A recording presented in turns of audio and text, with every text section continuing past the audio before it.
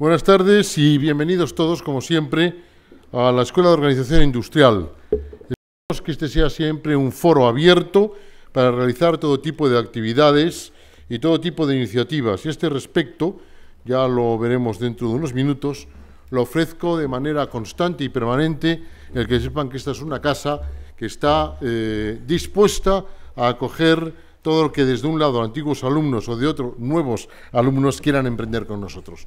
Hoy nos enfrentamos a un tema absolutamente original y nuevo, la ejecución estratégica, dando de entrada la enhorabuena, no sé si por el resultado, que ya lo veremos, pero sí por el trabajo, a John Larrabeiti y a Carlos Espinosa, porque como coordinadores de este texto que hoy vamos a ir estudiando y analizando sobre ejecución estratégica, han desarrollado para para tratar de estudiar y analizar que quizá el mundo de la planificación estratégica ha cumplido su ciclo y que hoy el éxito o el fracaso no está en la planificación, sino está en la ejecución. Y esto es verdad. El éxito o el fracaso al final no está en la decisión que toman los directivos, que de vez en cuando sí lo está. Lo está fundamentalmente en la manera de llevar a cabo esa ejecución de llevar a cabo esa decisión, en la ejecución de la decisión, en la forma en que se lleva adelante la planificación, la estrategia de la empresa. Bueno, eh, para hablarnos de estos temas en la, tarde de hoy, eh, se han reunido, amén de los coordinadores de la obra, tres personas que son especialmente interesantes para nosotros. Por un lado, Francisco Cal, que desde su reciente responsabilidad como presidente de Tecniberia, que yo creo que esto es una, eh, eh, digamos, siempre que a uno le nombran algo importante, ¿verdad? Eso que tiene una tarjeta de visita muy grande, presidente, consejero, delegado, tal, eso es una especie de pequeña losa. Sin embargo, este señor tiene algo importantísimo, mucho mejor que todo eso, que su formación, es antiguo alumno de esta casa. ¿eh? Eso es una gran ventaja. Por otro lado, don Gabriel Cerrada, también antiguo alumno de esta casa, y que ahora desde sus responsabilidades en Orange también pues tiene, tiene cierto, cierto respeto hacia una sociedad a la que se debe y a una sociedad que, como este tipo de empresas, cada día quieren más y más servicios. En tercer lugar, eh, don Ángel San Segundo, que aparte de ser, pues no sé, eh, en esta casa yo creo que Ángel lo ha sido todo, ¿no? Casi, casi hasta director general, pero bueno y, los coordinadores a los que he hecho referencia. Yo, eh, por mi parte, daros la bienvenida a todos ustedes, desearles que eh, siempre que se está en un acto de estos podamos llevarnos al final dos ideas, ¿verdad? Y esta es la responsabilidad de estos señores, ¿no? Yo cuando se viene aquí no se trata de que nos cuenten miles de cosas, no, que nos cuenten dos cosas pero que nos sirvan para algo. ¿eh? Estoy seguro de que en el libro Ejecución Estratégica, la experiencia e innovación de 12, de 12 CEOs, que además, eh, por otro lado, fíjense, están empresas de, todo tipo y de, toda consideración, eh, en multitud de, actividades económicas de nuestro país y con las mayores responsabilidades sobre esas empresas, seguro que ellos han aportado muchas cosas. Lo único importante es que esas cosas nos puedan servir, nos puedan dar alguna luz en estos momentos dificilísimos. Momentos dificilísimos que, por otra parte, tenemos que ir, eh, y este es un mínimo mensaje ¿eh? Tenemos que ir olvidando esas, eh, esas palabras eh, a veces un poco negativas, la crisis, lo difícil, lo imposible, estamos hundidos, estamos acabados. Yo creo que si cambiamos eso por hemos estado así, pero vamos a estar de otra manera, nos, nos ayudará muchísimo. Yo creo que las, las, los pensamientos positivos al final nos conducen a actuaciones positivas. Muchísimas gracias por su estancia y no olviden nunca que la EOI está siempre abierta para todas las cosas. Gracias a vosotros.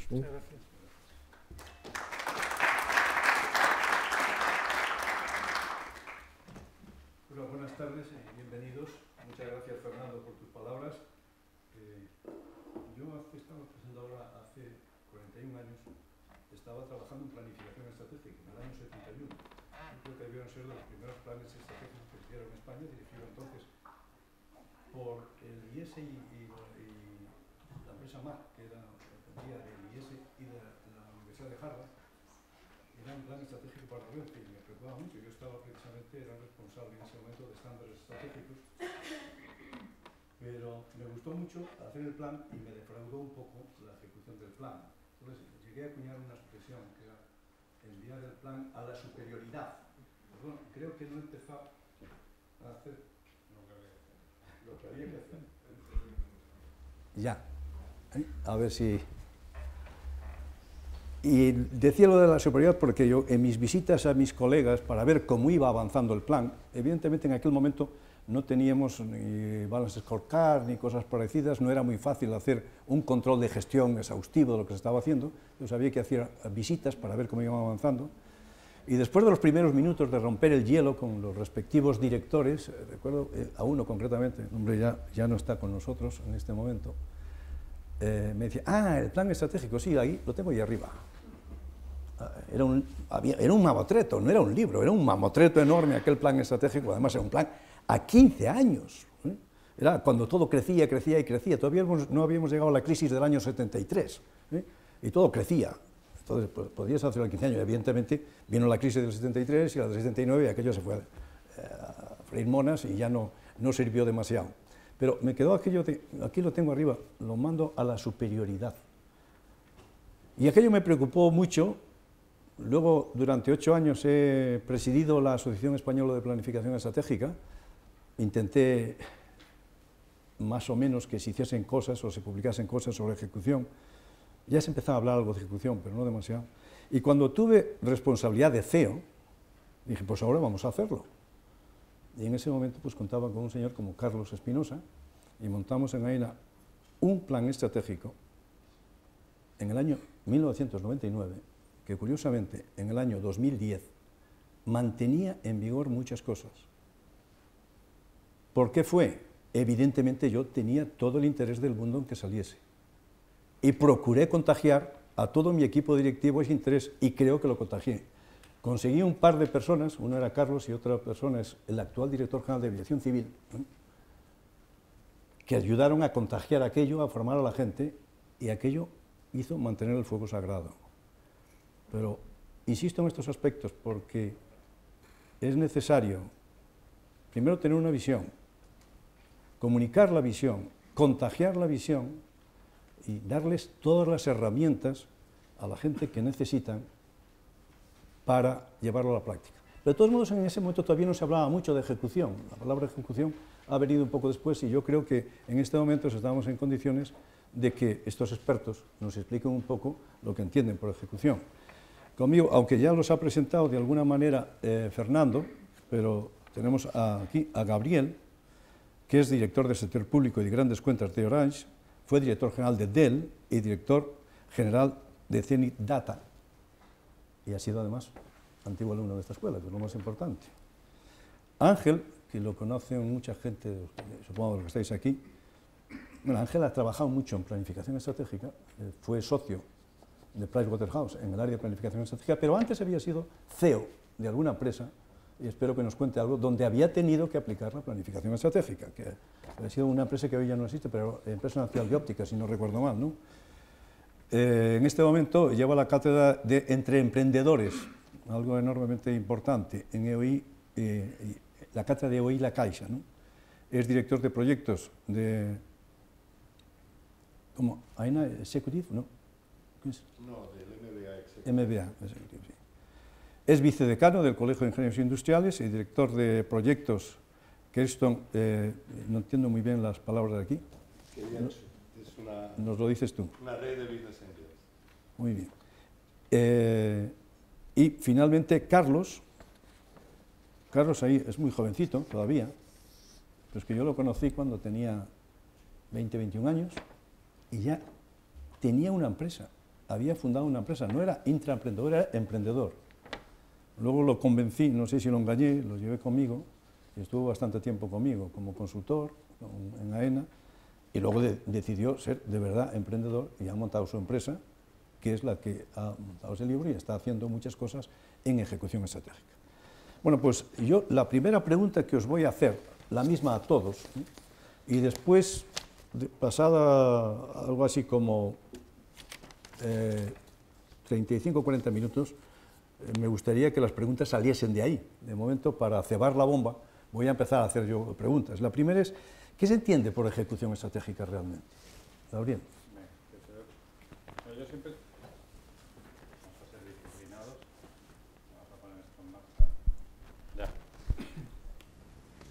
Este tema siempre me gusta empezarlo con una, con una anécdota cuando cogí la dirección general de Dell iba compartiendo un taxi con, con Michael Dell una vez que vino a Madrid y le pregunté, estábamos hablando de la competencia, ¿no? Y le, y, le, decía, no, es que la estrategia de Acer en aquella época, no sé si hay alguien que ha trabajado en Acer, es una estrategia de costes. ¿eh? Y decía él, no, los costes son una obligación, no son una estrategia. ¿no? Y luego seguimos hablando del tema de la estrategia y decía también Mike, decía, no, no hay buenas o malas estrategias, hay buenas o malas ejecuciones. ¿no? En un entorno donde eh, se caracterizaba mucho, eh, mucho por, por la, la, obsesión por la ejecución, por medirlo todo, por la rapidez, por la velocidad de temas que seguro hoy vamos a hablar a lo largo de la, de la, de la tarde. ¿no? Pero es verdad que, que la ejecución estratégica todos lo sabemos y todos sabemos el diagnóstico, que las empresas fallan en la ejecución. ¿no? Dicen los americanos que más del 60% de las empresas fallan por la ejecución y que la primera prioridad de un CEO es la, es la ejecución. Pero luego pasa otra cosa, que y también me gustaría ir lanzando temas ¿no? ¿Eh? de la ejecución. A veces hay gente que si no lo hace bien puede resultar aburrida. Entonces hay muchos CEOs que no se ponen a ejecutar. Yo creo que es una obligación del CEO ejecutar, que es aterrizar lo que tú comentabas, una vez definida una visión, una misión que has mencionado antes, he apuntado por aquí palabras de contagio, ¿no? Contagiar, decías, ¿no? Contagiar ese entusiasmo, el comunicarlo, el hacerlo de todos. Y eso hay que traducirlo. ¿eh? Yo creo que tendremos oportunidad a lo largo de la tarde de ver cómo traducimos eso y cómo lo aterrizamos y retos a los que nos hemos podido enfrentar, pero la estrategia no puede ser un ente. Y la ejecución es un proceso, es un proceso continuo y es un proceso de, compartición, de participación y no puede ser a nivel de organización, tiene que ser a nivel de individuo. Si no somos capaces de traducir qué significa la estrategia de mi compañía para mí o qué puede significar, es muy difícil coger el compromiso de la gente. ¿no? Lo dejo ahí, ¿no? No, me quiero, no quiero alargar la respuesta, pero, pero son retos a los que cualquier persona que tenga que enfrentarse a implementar ya no diseñar, a implementar una estrategia se va a encontrar y son puntos de partida básicos ¿no? para la ejecución. Ángel, tú que has hecho muchos planes estratégicos, eh, ¿cuáles son los que te han servido más?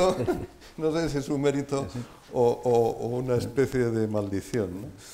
pero sí que yo estaba ahora tratando de acordarme, como me ha tocado ser consultor y me ha tocado ser ejecutante, eh, también me ha tocado eh, participar en proyectos de joint ventures entre firmas de distinta procedencia.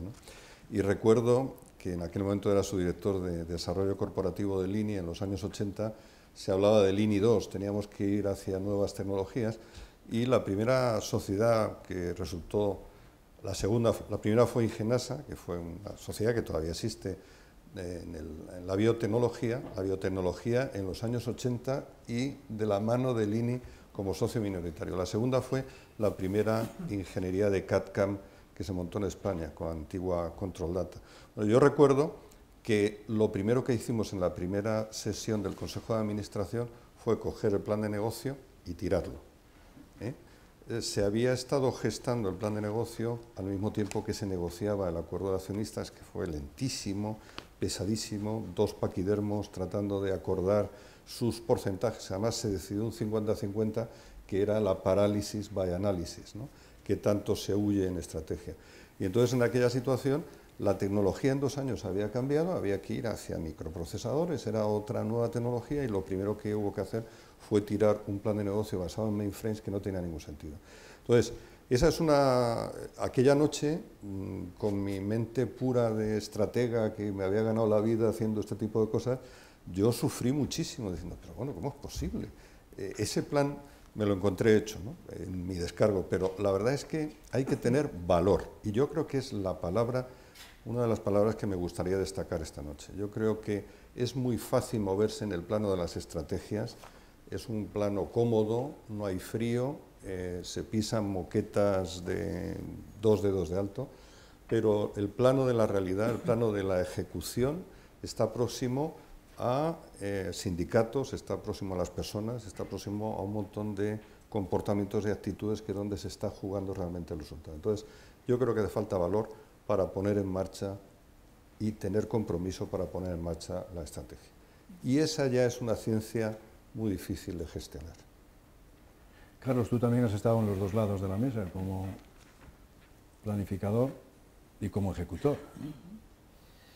Sí, escuchando, eh, yo creo que en, la palabra ejecución, nosotros además en, en CEFIE en este tiempo lo hemos, lo hemos asociado a dos cosas, no digo con motivo de la crisis, eh, ha cambiado un poco desde cuando empezábamos a hablar de ejecución, año 2004, que es cuando sale el libro famoso de, de Bosidi Charam, a, ahora. ¿no?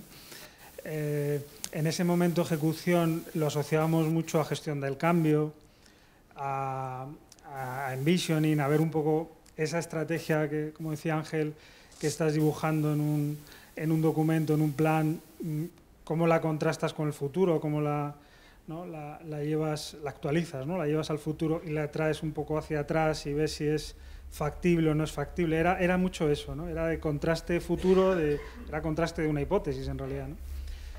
Eh, esa ejecución ahora ha cambiado bastante. Nuestra experiencia actual con los clientes es que la ejecución ha pasado a ser mucho eh, realismo, como decía Ángel, y creatividad. Yo creo que ahora eh, los, CEOs eh, que ejecutan bien son CEOs creativos, absolutamente proactivos, que consiguen resultados con menos recursos que nunca, probablemente con el equipo más tocado que ha estado muchos años.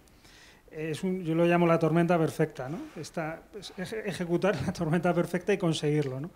Entonces yo, yo, asociaría en este momento ejecución mucho a creatividad, ¿no? a encontrar otra vía para que las cosas ocurran. ¿no? Bien, voy otra vez a Gabriel, que prácticamente has estado siempre en multinacionales. ¿no? ¿Hay distintos estilos en distintos países a la hora de ejecutar o es algo que es común a, a todo el mundo? Yo creo que, que, es absolutamente claro que la estrategia...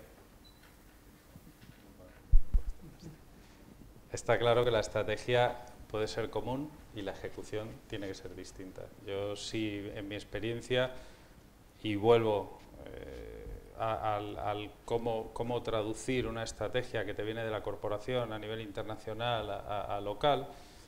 Eh, yo me acuerdo que, en un momento dado recibimos un, objetivo, una visión, una visión estratégica de que había que doblar la facturación en dos años a nivel mundial y que era lo que llamaron la visión eh, 007. ¿no? doblar en el 2007. Y yo dije, bueno, ¿y esto qué? Esto está muy bien, pero yo tengo aquí un equipo de gente que está entre Madrid, Casablanca, Montpellier y Calgary y les tengo que convencer de que esto de que esto es importante y es relevante para ellos, porque si no sonaba la típica americanada que viene de Estados Unidos, que viene por imposición y todo el mundo levanta los brazos y no hace nada. Entonces dijimos, bueno, pues tenemos que hacer nuestro plan estratégico, inspirado obviamente en un plan paraguas de la compañía, lo tradujimos y lo tradujimos a Iberia 500, que significaba duplicar en Iberia a llegar a los 500 millones eh, de dólares en aquella época. Y eso lo tradujimos en qué significaba para cada uno de las compañías. Hicimos equipos de transformación, equipos de trabajo que iban traduciendo lo que podía representar ese Iberia 500 para cada uno de los niveles hasta llegar a los niveles más bajos. Y yo recuerdo que al final uno de los argumentos más potentes que había en todo este proceso era eh, convencer a individuo profesional que está en la base de la organización de lo que podía representar para él el Iberia 500. El Iberia 500 representaba crecer en gente, con lo cual significaba nuevos puestos, nuevas oportunidades, crecer en complejidad de la oferta que estábamos vendiendo, con la oferta que teníamos no llegábamos a, lo que buscábamos, es decir, crecer en gente, crecer en, complejidad y en definitiva crecer en conocimiento y en, dificultad de gestión. Por lo tanto, significaba que el valor individual de cada profesional, incluso a nivel de mercado, iba a subir. Y eso era un enganche suficiente para, para algunos de los profesionales que se sumaron. Entonces, respondiendo a tu pregunta, la respuesta es sí hay que traducirlo. No hay que traducirlo solo a nivel de cada país y de diferencias culturales, sino a nivel de cada organización. Eh, nosotros tenemos un reto ahora muy importante en Orange, que es una, estamos como compañía teniendo éxito en el mundo residencial, en el mundo pyme y estamos peleando en el mundo empresa. Hemos definido la visión del mundo empresa y lo que estamos intentando es qué palancas hacen que la gente se sume a la visión. E incluso a nivel de organización, palancas que en unas organizaciones funcionan porque está en el ADN cultural de la organización, en otras no funcionan y palancas que tienes en un sitio en otro, en otro no funcionan. Por lo tanto, mi comentario es no solo a nivel de países, hay que aterrizarlo, sino a nivel de cultura, a nivel de empresas. No es igual aterrizar una estrategia en una compañía pública, entiendo, vosotros tenéis más experiencia que yo en eso, que en una compañía privada americana, que en una compañía privada francesa. No es lo mismo. Y eso sí que hay que adaptarlo y mirarlo muy bien, el entorno que te rodea, el mercado, la cultura que hay dentro de la empresa y las palancas que tienes para implementar y ejecutar esa estrategia. Bueno, siendo así, eh, si vamos buscando una ejecución flexible que se aplique, que se adapte totalmente al terreno, entonces, ¿cuál debe ser el mensaje de la estrategia? Yo recuerdo cuando hablaba de la estrategia del año 71, un mamotreto así. Eh. Luego alguna vez le he oído decir a, John Humble, menos cuadros, menos estrategia y más ideas. Eh. ¿Cuál es el mensaje? ¿Qué es lo que tiene que contener la estrategia para que pueda adaptarse al terreno concreto en cada momento? Ángel, tú que has hecho estrategias también a veces voluminosas. Sí, no, la verdad es que recuerdo una eléctrica que cuando nos enseñaba su plan estratégico, que ocupaba 12 volúmenes, pues mm, que por cierto, como ingeniero industrial, mm, había una empatía con ellos, que casi todos eran ingenieros, y entonces mostraban la labor de ingeniería que había detrás de un plan estratégico que ocupaba 12 volúmenes, pero inmediatamente nos dábamos cuenta de que esa pasión por hacer las cosas exhaustivas, eh, científicas, está muy alejada de lo que es la raíz de la, de la, estrategia y de la ejecución, que es conseguir resultados. Yo creo que la simplicidad, a mí me maravillan estos planes que se presentan en unas pocas hojas, una misión que se escribe en dos eh, o tres párrafos. Una eléctrica normalmente emplea tres o cuatro páginas para describir la misión y, por tanto en cascada casi toda la comunicación de la estrategia es un arcano, es, muy difícil de conseguir que eso cale. Y, ahí me parece que la clave es tener objetivos muy simples. La cultura anglosajona, he trabajado más de 20 años con empresas americanas, la simplicidad de la idea es fundamental. Yo recuerdo que una época en la que ITT, en la época de Jenin, tuvo un problema con sus balances y entonces se lanzó también un mensaje de hay que cortar los inventarios eh, por la mitad. Entonces, todos nos dedicamos a reducir inventarios, pero vamos, era de ciencias, de letras, todo el mundo a reducir inventarios. Hay siempre una parte publicitaria que normalmente eh, no acaba transmitiendo con toda su veracidad los resultados, pero sí el efecto de arrastre y movilización es el que cuenta. Y sobre todo lo que hay es una simplicidad. El objetivo de, por ejemplo, en el caso de la eh, empresa pública que presidí, llevaba 17 años perdiendo dinero. ¿eh? Entonces nos planteamos ganar dinero en dos años. Y e, ese, era el objetivo estratégico. Entonces, a las 700 personas que estamos allí, les fuimos inoculando este mensaje y al final lo conseguimos. La verdad es que me recuerda estas expresiones de los hermanos más. De hecho, emitimos unas placas mm, para los que salimos después de aquella hazaña de conseguir beneficios al cabo de 17 años de pérdidas, que ponía una cita a los hermanos más que decía lo hicieron porque no sabía que era imposible.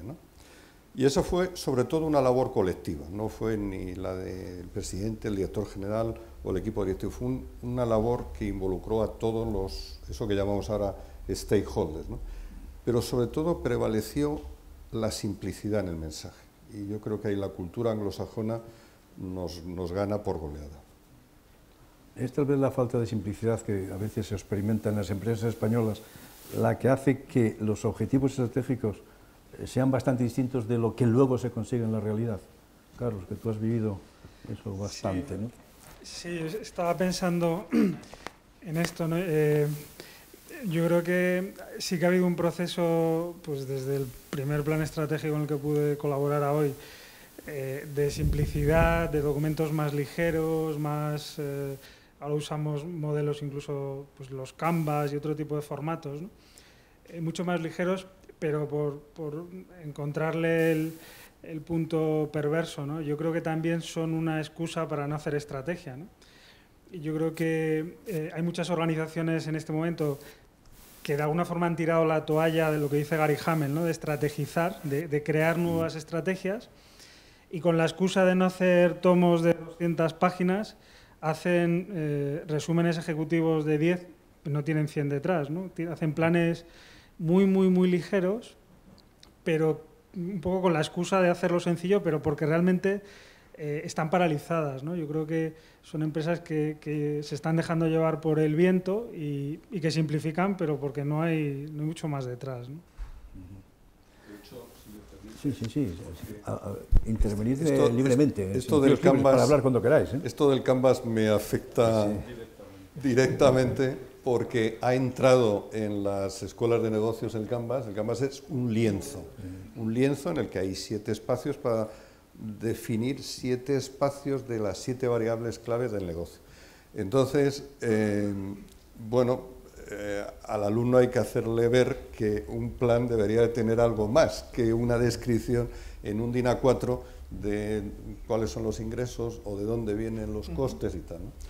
Pero el problema no es ese, el problema es que ha llegado al mundo de los emprendedores. ¿eh? Entonces, hoy un emprendedor, cuando está diseñando, sobre todo un emprendedor en el mundo web, eh, que son muy dinámicos por definición, pues entonces eh, escriben en una hoja las cuatro cosas fundamentales de su negocio y entonces se creen que ya pueden ir a un business angel o a un banco a que inviertan en él, lo cual eh, pues evidentemente crea un traumatismo de primera magnitud.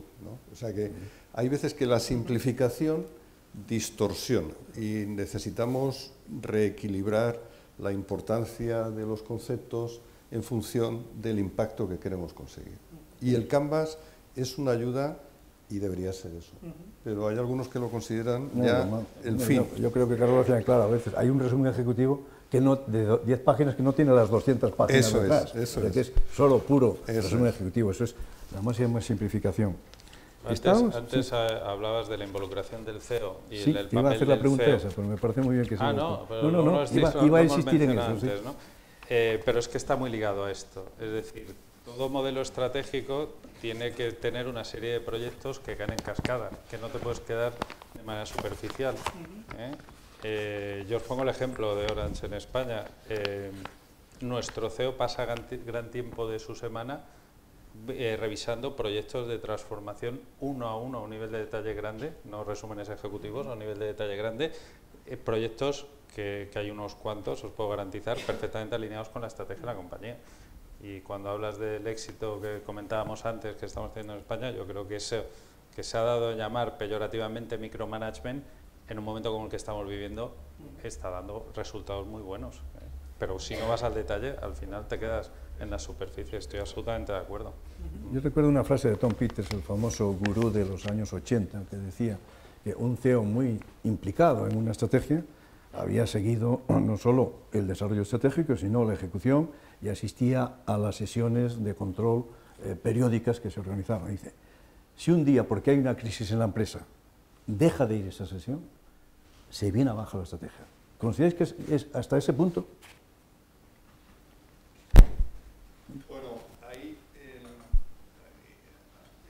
Depende de la cultura, de la cultura y el estilo de dirección. En, algunos casos el liderazgo es mm, explícito y por tanto la presencia del líder es casi condición necesaria para que verdaderamente eso tenga lugar. Yo que he vivido en algunas organizaciones de esas, eh, con algunos salvadores que venían a arreglar la compañía, recuerdo que en Pricewaterhouse cambiamos de, de el socio encargado de toda la gestión y contratamos a un profesional que venía del mundo de la aviación civil y que había sido magnífico eh, reflotando líneas aéreas quebradas. La consultoría, el pobrecillo, es que no daba. Ya, claro.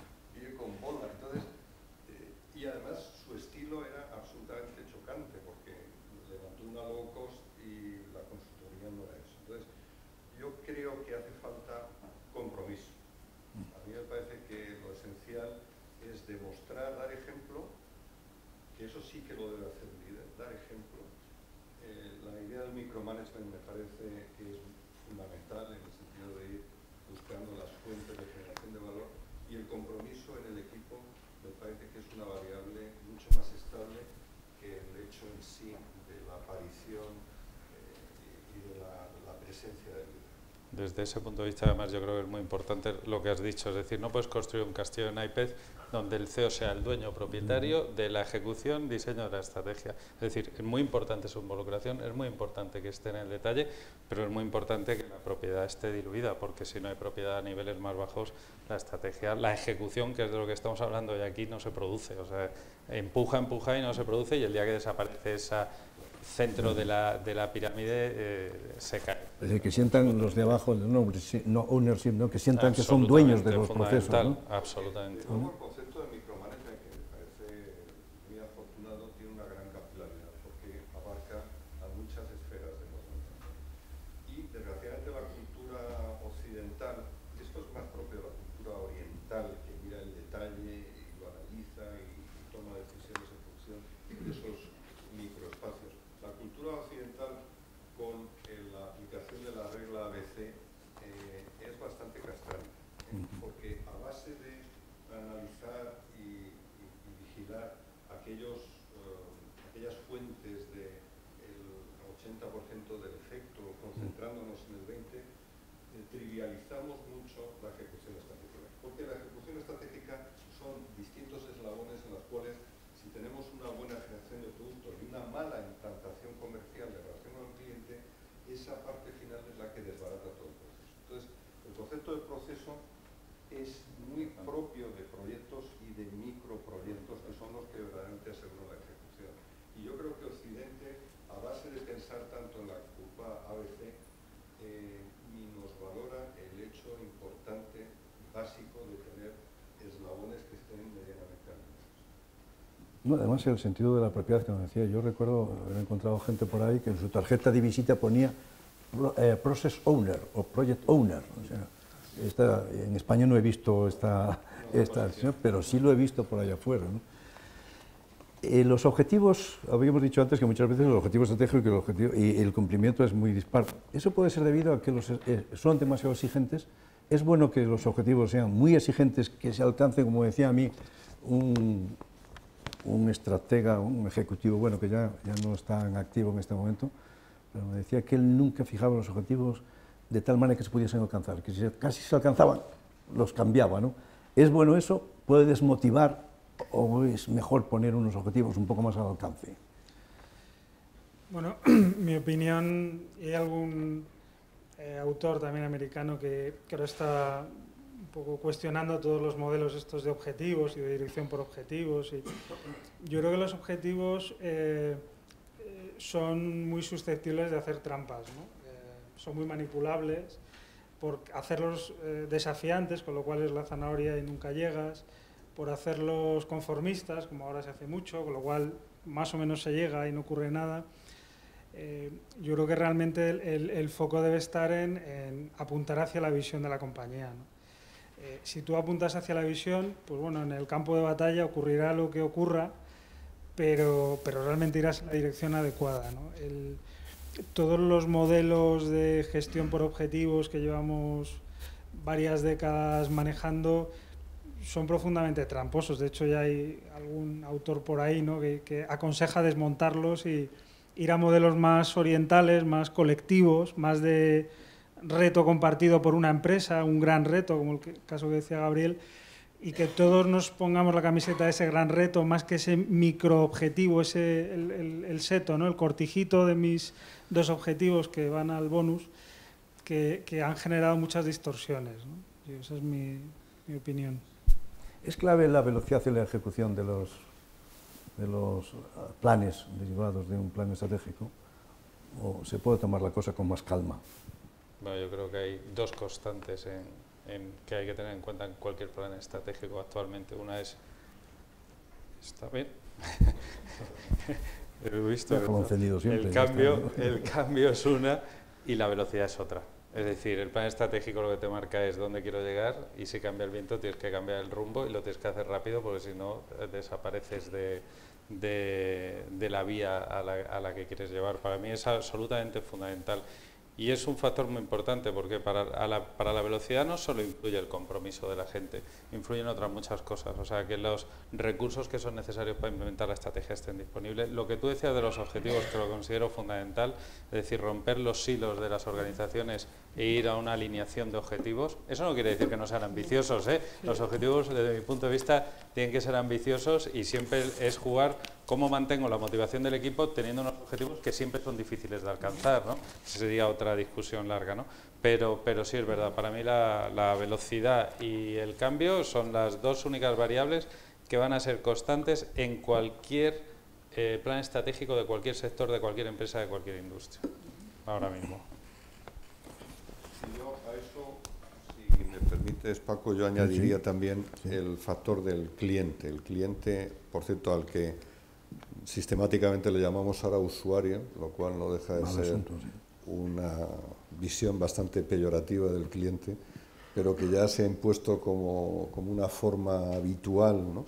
Eh, hay veces que además es difícil distinguir usuario de cliente, pero el concepto de cliente me parece que es eh, absolutamente la razón de ser de cualquier estrategia, por supuesto la razón de ser de cualquier ejecución y muchas veces ayuda a, precisamente a fijar prioridades, a fijar eh, prioridades también en la asignación de recursos, a ver la velocidad. Hay veces que el cliente está siendo tentado por la competencia eh, el cliente tiene en sí mismo muchas respuestas a cuestiones que nos empeñamos en ver desde dentro. La endogamia de la, de la estrategia es clásica, porque aquí hace calor y aquí de nuevo tenemos moqueta y fuera pues hace frío, hay que buscar al cliente, hay que pelearse, hay que sacar la navaja, está la competencia. Entonces, a mí me parece que la pérdida de sensibilidad en relación con el cliente hace que de nuevo la ejecución mm, navegue por las cómodas eh, eh, estancias de unas oficinas centrales. Y ese cliente debería estar en el foco, que es curioso porque en, revisando lo que se ha publicado hasta ahora, que además es muy reciente, tiene, no tiene 10 años, pues se pone mucho énfasis en la estrategia, en las personas y en las operaciones como grandes palancas y el cliente queda ahí como una especie de nebulosa, como si lo tuviésemos conseguido, cuando realmente tenemos que poner en marcha precisamente la estrategia para retener a ese cliente. Sin embargo, muchas veces en los sistemas de valores de las empresas se dice el cliente es nuestra razón de ser. Sí, ¿eh? pero como declaración de principio, pero luego, oye, mójate. ¿Tú consideras, yo en, en la época que hacía análisis internos en las empresas, eh, normalmente invitaba al cliente interno, y a veces organizaban unas peleas de mucho cuidado, entre un cliente, yo recuerdo en Iberia llevábamos, eh, eh, cuando hacíamos el diagnóstico de la dirección de personal, todos eran enemigos de la dirección de personal, lo ponían de vuelta y media, ¿no? pero aquello ponía de manifiesto muchas cosas. ¿no? Y cuando juntabas a los de operaciones con los de comercial, te pasaba tres cuartos de lo mismo. Pero al, al cliente externo, ¿tú consideras que incluso se le debería meter en algún grupo de análisis para pues, el desarrollo estratégico? Yo creo que es más que saludable, sobre todo si el cliente tiene valor, eh, aporta valor y tiene peso específico en el mercado, tiene cosas que decir. A mí me parece que el, cliente está siempre en el frontispicio de cualquier declaración, pero luego a la hora de ponerlo en práctica parece que queda como en un segundo plano. Y ya no digamos cuando le llamamos usuario o cualquier cosa de esas, que tiende incluso como un tono despectivo, ¿no? Usted use mis, mis servicios, ¿no? Es curioso que en ese plan estratégico que hizo referencia en el año 71, que era de Renfe, que hemos dicho, una de las cosas que se hizo positiva fue cambiar el concepto de usuario por cliente. Eso es, en Renfe. Se cambió, ¿eh? porque además es cliente, eh, es más cliente. Luego que yo he estado en el mundo eléctrico, es más cliente el cliente de Renfe que el cliente de Unión Fenosa. Unión Fenosa ahora ya hay un poco más de flexibilidad, para hace unos años tenías que ir por narices. Entonces ahí sí que era un usuario, pero un cliente eh, eh, en Renfe podías coger el coche, eh, coger el autobús, el avión y el propio tren. O sea que hay, hay opciones, ¿no? Y creo que es muy importante introducir al cliente. Hay otro personaje que tú cuidas mucho, Ángel, que es el intraemprendedor. ¿eh? Sí. Eh, a mí me gusta, y el intraemprendedor para mí es algo, hemos hablado muchas veces, yo he empezado a trabajar con cosas de intraemprendedores al final de los 80, evidentemente el mundo no estaba maduro y no tuvimos excesivo éxito en aquel momento, que a lo mejor es el momento ahora del intraemprendedor. El intraemprendedor eh, ¿Qué papel puede jugar en, esta, en la implantación, en la ejecución? Pues eh, a mí me parece que es un papel verdaderamente capital en las grandes organizaciones. ¿eh? El intraemprendedor, que es una transposición de intrapreneurs, pues es, es una persona que es capaz de catalizar recursos en una organización para transformar la organización consiguiendo un objetivo de cierta relevancia. Por lo tanto, es una persona que moviliza, no es un líder como tal, pero sí que tiene que tener componentes y habilidades de, liderazgo, pero tiene esa capacidad de atraer recursos, y gestionar el cambio y eh, de una manera, como ahora se dice, transversal, hacer que un determinado proyecto pueda crecer y llevarse a la práctica en una gran organización. ¿eh? ¿Qué hace? Aplica pues, un poco la, práctica de un emprendedor cualquiera que pone en marcha una empresa, eh, una idea, un plan, una estrategia con unos recursos en aquel momento suyos, en el caso de una gran organización, dispersos de distintos departamentos. Entonces esa figura es una figura que vale su peso en oro, porque hace que grandes organizaciones puedan llevar a cabo proyectos que son complejos en sí mismos porque tienen mucha resistencia. A mí me parece que esa figura en las grandes organizaciones se está cultivando cada vez más y se está tratando de fomentar, porque es como una especie de consultor interno, pero que tiene una cierta capacidad de ejecución. ¿eh? Ese consultor interno, yo empecé a trabajar también como consultor interno en una gran eh, organización, pues era muy jovencito, nadie me hacía ni caso, yo mandaba mis informes y tal, y entonces pues la probabilidad de que aquello pudiera ver la realidad era mínima. Pero claro, hay que darle un cierto empowerment para que pueda llevar a cabo este tipo de proyectos, que enlazan con el micromanagement este, o sea, es, son grupos no necesariamente estables para poner en marcha cosas que se nacen, se reproducen y mueren cuando esa iniciativa se ha llevado a la práctica. Y a mí me parece que esa es una figura que ayudaría mucho en los procesos de ejecución estratégica en vertebrar una estrategia de gran calado en cosas concretas que se tienen que llevar a la práctica. Y en donde no puede estar siempre el líder, el líder máximo de la organización. Tenemos que tener equipos que sean capaces de llevar a la práctica ese tipo de proyectos. Carlos, ¿qué, en tu experiencia, ¿vas a decir algo en relación con esto? Sí. Con tu permiso, volver al tema de clientes porque, eh, bueno, yo creo que el tema de clientes no es un, eh, no está en oposición con el tema de ejecución, ¿no? De hecho, eh, un poco el modelo que nosotros proponemos a, los, a las direcciones generales es un triángulo donde combinamos ejecución, innovación y clientes, ¿no? Las tres cosas. Y para nosotros son las tres palancas de un, de un directivo, ¿no? esas tres. ¿no? Por supuesto, o sea, muy de acuerdo con lo que decía Ángel y Gabriel también, clientes, foco a clientes, foco a ejecución y foco a innovación.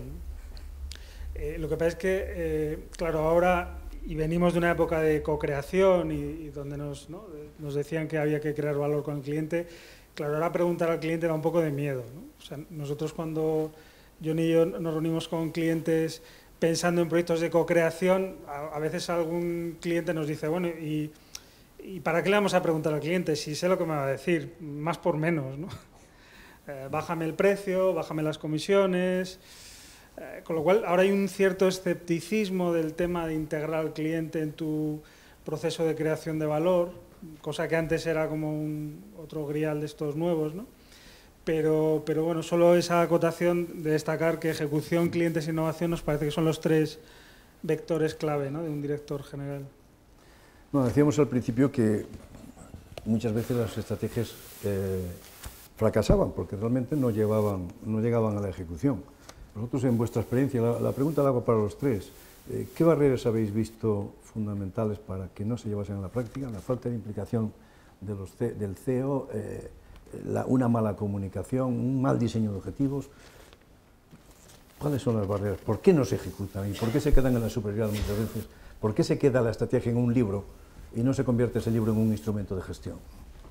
Yo creo que, que el cambio incomoda a mucha gente. Entonces, una ejecución estratégica implica muchos cambios en muchas organizaciones. Y eso es una de las primeras barreras a las que siempre nos, nos vamos a enfrentar, ¿no? Una resistencia al cambio, de aquí las cosas siempre se han hecho así. Yo recuerdo cuando yo dije, ahora, si aquí alguno me ha acompañado en este viaje, eh, me dijo un reporte directo, no te vas a atrever a implantar esa organización. ¿eh? Y el día 1 de enero, yo llegué en septiembre, el 1 de enero estaba implementada. ¿no? Es decir, hay una resistencia al cambio grande dentro de las organizaciones. Yo creo que también hay un cierto miedo y muchas veces no es si la estrategia es buena o mala, es mucho lo que decíamos antes, la comunicación, el que la gente sea propietaria de la ejecución, el mostrar un poco de pasión en, en, en, en, lo que estás haciendo. Si tú no te lo crees, tú no puedes implementar una estrategia, tú no puedes definir, vamos a, a duplicar la facturación y decirlo con la boca pequeña. Eres el primero, te lo tienes que creer, pero todo, todo el proceso. Como decía antes, es un proceso que tienes que definir, que tienes que medir, que tienes que, que, poner en marcha, si no lo sigues, no lo mides, al final no sabes si estás yendo por el buen camino. Entonces, definir el rumbo eh, es muy importante y en eso siempre vas a encontrar resistencia. Entonces puede estar el problema en la definición, puede estar el problema en la comunicación, puede estar el problema en que no tengas los recursos financieros o, otro tipo que necesitas para la implementación, en la sponsorización desde el, eh, la presidencia o incluso el consejo de, de, de, administración. Es decir, hay muchos factores que pueden influir a, sí. al fallo. ¿no? Los, los, partes teóricas dicen que hay como 12, ¿no? 12 o 15 factores que impiden sí, sí. que una ejecución estratégica sea, sea un éxito. ¿no? Yo incluso me, me, atrevo a hacer una autocrítica como consultor que he sido y sigo siéndolo a ratos libres. Esto, yo creo que las consultoras de estrategia han cometido, hemos cometido muchas veces un error de planteamiento por aquello de sobrevalorar esa relación con el cliente en la medida en que el cliente nos pedía un trabajo, nosotros teníamos que ser químicamente puros, hacer ese trabajo y, y había también una cierta tendencia a ser excesivamente eh, cálidos con el cliente, ¿no? Porque incomodar al cliente, la verdad es que para algo que va a suceder probablemente dentro de dos o tres años, anunciarle que va a haber una tendencia que puede amenazar o deteriorar sus resultados, era algo que tenías que tener unos argumentos muy sólidos y eran cuestiones opináticas, no es la desviación a la fecha es, un, es negativa y esto hay que resolverlo, el diagnóstico es algo tangible, pero un ejercicio de definición de escenarios a largo plazo requiere un, una gran paz espiritual que no la tienes, tienes poco tiempo para entregar el trabajo, hay mucha tensión y, la verdad es que hay poca receptividad. He hecho trabajos de prospectiva en donde realmente cuando hemos terminado el trabajo, pues, pues mm, entregabas algo que era en lo que creías, pero el cliente quería oír otra cosa. Y ese tipo de sensaciones es, hacen que la tentación a hacerte excesivamente próximo al cliente, como decíamos antes, de servicio al cliente, ha llevado a algunos a cometer, eh, no digo que grandes errores, pero sí a no adelantar, no anticipar eh, cambios eh, que por otro lado era muy difícil anticipar, porque precisamente la definición entre planificación estratégica y ejecución estratégica es que el plan no se hace para cumplirlo al 100%, si hay que tirarlo a la basura, como comentaba antes, se tira, sino para hacer el seguimiento. Y ese seguimiento era el que ya no era tan claro que se fuese a hacer. Entraba el consultor, entregaba su trabajo, se iba y ya no sabíamos qué iba a pasar. ¿no? Entonces, yo creo que hay el, la relación de los consultores con los CEOs ha sido una relación de amor y de odio, pero que no ha posibilitado un, una evolución razonable de la ejecución. ¿eh? De hecho, perdona, uno de los trabajos en un IBEX 35, una compañía del IBEX 35, nosotros entramos a hacer un plan estratégico a esta compañía cuyo director financiero quería desinvertir. ¿Eh? Y entonces, pues vimos que había palancas para crear valor en esa compañía y que podían generar un valor eh, que si retrasando la operación dos, tres años, la compañía decidía desinvertir iba a encontrar un multiplicador de 4 o 5, probablemente. ¿no? Bueno, pues esto nos costó un desgaste tremendo, porque teníamos enfrente al director financiero, teníamos... Y entonces tuvimos que gestionar todo aquello haciendo una gestión de, de los intervinientes tremenda. Bueno, el final, por abreviar, es que al final recomendamos una mejora importante en profundidad en la compañía. Aquello no se desinvirtió. Hoy en día es en su sector una de las tres líderes a nivel mundial y siempre que me encuentro con directivos de aquella compañía, pues recuerdan con enorme satisfacción el trabajo que hicimos. ¿no? Pero fue un trabajo en el que nos encontramos casi todo en contra. El consultor difícilmente puede a veces dar algo eh, que se aparte de pensamientos más o menos establecidos y desgraciadamente si esto está al principio la ejecución va a estar teñida de estos condicionantes del diseño estratégico. Normalmente el papel del consultor se eh, acababa cuando entregaba el libro, ¿no? Es el papel. Ahora, en este momento, eh, Carlos, que tú estás metido en el mercado de la consultoría, ¿cuál es el papel del consultor de cara a la ejecución? Sí, bueno, eh, yo me estaba acordando, comparte lo que decía Ángel, de, de la década de consultoría, por, por, decir una década, ¿no? año 95 a 2005, por poner fechas, eh, que es verdad que fue un poco como el barroco. ¿no? Eh, no había empresa que no implantara cuatro o cinco proyectos de tres siglas, ¿no? de, de todo. Y, y, en la ejecución pues es un poco volver al románico, ¿no? es un poco volver a, a una estructura mucho más simple, más... Eh, nosotros nos encontramos mucho, mucho barroco ¿no? cuando llegamos a un cliente. Eh, y, nuestro trabajo empieza cuando pues, un cliente se encuentra en un callejón sin salida con un plan estratégico eh, irrealizable y que genera mucha frustración en el equipo directivo, en los mandos intermedios y, precisamente las metodologías que utilizamos están orientadas a un poco la fisioterapia organizativa, ¿no? a, volver a poner el músculo en funcionamiento y que la organización vuelva a fluir. es consecuencia de esa época igual que vivimos, ¿no? donde cualquier cosa que aparecía en la Harvard había que implantarlo eh, inmediatamente y, eso generó un estrés, también una burbuja de management importante que ahora a golpe de, de realismo pues nos tenemos que quitar de encima. ¿no? Y cuando nos quitamos de encima y volvemos al románico, pues siempre volvemos a Peter Drucker, ¿no? que lo dijo todo, sí. felizmente, y en sus obras está. ¿no? Sí, Peter Drucker recuerdo que decía, si usted no dirige por objetivos, ¿cómo dirige? No? cuando se estaba criticando mucho la dirección por objetivos, todo aquello.